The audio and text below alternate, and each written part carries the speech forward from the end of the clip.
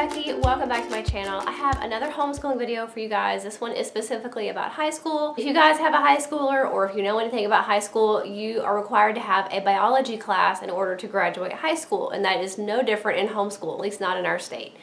You still have to have, um, I believe it's three science credits to graduate, one of which has to be biology. And so that's kind of what I think a lot of freshmen start with. I know when I was in public school, I took biology my freshman year. My oldest daughter has been doing apologia science since fourth grade now, since we basically since we started homeschooling. She's been doing different apologia science. She's done anatomy, she's done botany, she's done a couple of the different animal ones. So um, lots of different um, apologia for their lower level learning. I love apologia because it is a Christian based curriculum and I think that's especially important with science. Not to say that you don't need to know what the rest of the world believes or what they may be teaching in public school because I feel like you need to know what other people believe and feel so that you can use your knowledge and your faith to come up with um, educated arguments. Not to say you're going to argue, but you know what I mean? Like an educated way to defend your own belief system. So I think it's important to know what they think and what they teach in public schools, but that doesn't mean that I want to do that here at home. That's one of the benefits of homeschooling we can choose a curriculum that lines up with our beliefs. And so with science, I feel like that's a particularly uh, troublesome subject because there is so much talk of evolution and things that we don't believe in personally. Um, but then I also still wanted a really, really good curriculum. So uh, sticking with Apologia, if it's not broke, don't fix it, as they say. So we are going to be doing Apologia Exploring Creation with Botany. This is the second edition. Luckily, we have a very nice friend that let us borrow this book, which saved me about, I don't know, how much is this book? Like $70, $75 just for the textbook. All I had to do was buy the student notebook, which you don't even technically need, but I've heard it's very useful to have. So I bought the student notebook for her, and I also bought the extra text, the extra test packet because that same friend that let us borrow the textbook, she already had the test answer key. So all I had to do was get the student an extra copy of the student tests and the student workbook. So I'm really excited. This is a big old book. This is a lot different than their typical lower level Apologia Science books. But I feel like it's going to be a really good thing for her. This is like her first really kind of hardcore science class. So I'm really excited for her to dig into that. Apologia is a great science curriculum, so I'm excited about that. And like I said, if you are thinking of doing the biology with Apologia, I have heard that you do not have to have the student workbook. I feel it's really important just because, let me show you some things that are coming here.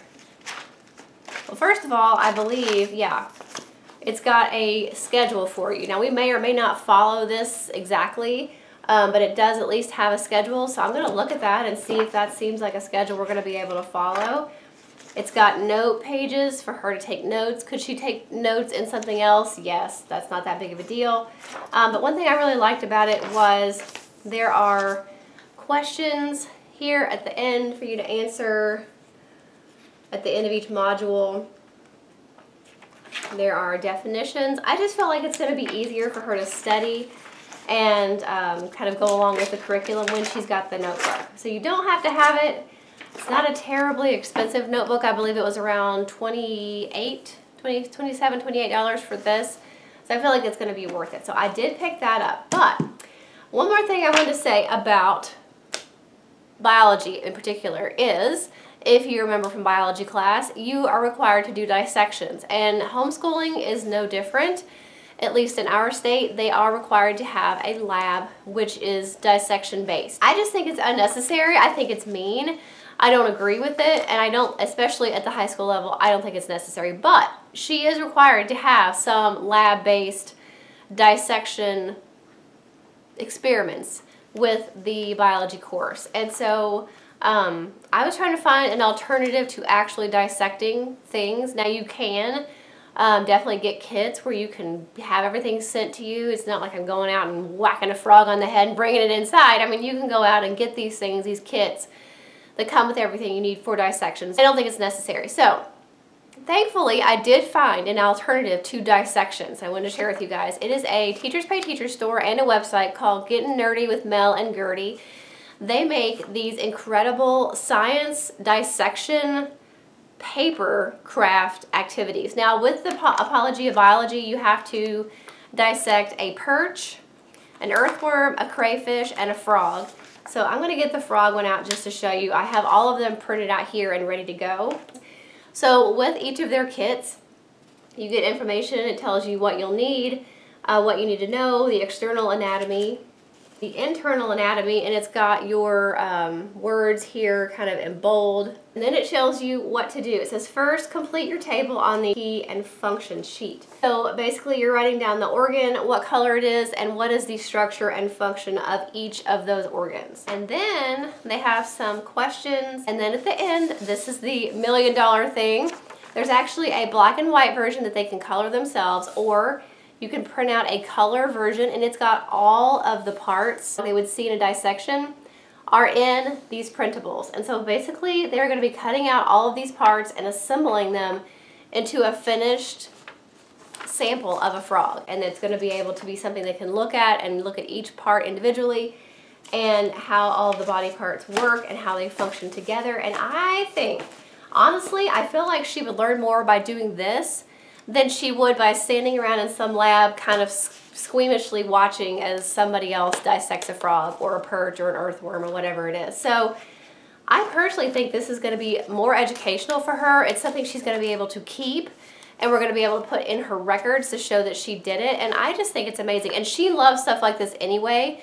There's a website that I will print out things for her where it is paper crafting. So you've got these really elaborate three-dimensional models that you put together made of paper. And she's done quite a few of those in the past. So she already enjoys that type of activity. So the fact that it is educational and it goes right along with biology and it keeps us from having to do dissections, I think is amazing. So I'm going to link the Getting Nerdy with Mel and Gerdy website and Teachers Pay Teachers store in the description box for you guys. They have tons of things like this. They have more than just these four. They have tons of different activities and dissection kits that you can purchase based on your needs, but I definitely think it's a great option if you don't have the money for a dissection kit, if you don't want to do it just like we didn't want to do it because I think it's mean and gross, then it's definitely a great option to check into. So I will have their store and their website linked below for you guys. I wanted to share this with you guys. I know it's not necessarily relevant to everybody, at least not right now, but if you plan to homeschool and you've ever given any thought to what you're going to do about a, di a, dissection lab, I thought I would share this video with you guys to let you know what we're doing for biology and what we're going to do about those nasty dissections. So hopefully it was helpful. Make sure if it was, you give it a thumbs up. Don't forget to check out my homeschooling playlist in the description box. Every homeschool video I've ever made is in that playlist. So I think you'll find some other videos that you enjoy and that are helpful.